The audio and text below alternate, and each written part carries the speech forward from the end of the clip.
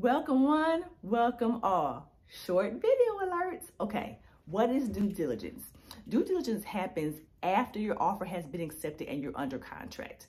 This is a time frame that you have to get your inspection done, get the inspection report returned to you, and to negotiate with the seller and the seller's agent for repairs, okay?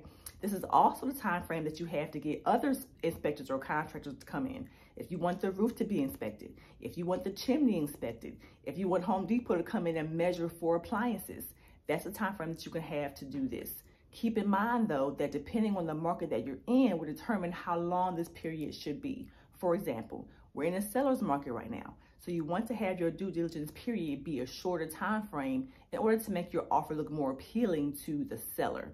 Last thing, you can also terminate during this due diligence period and get your full earnest money back only if you do it during this period for whatever reason at all. You can wake up and say, you know what? My kids get on my nerves this morning and the sky's blue. I don't want this house. Terminate, get your full earnest money back. If you have any questions, make sure that you comment down below. Thank you. Have a great day.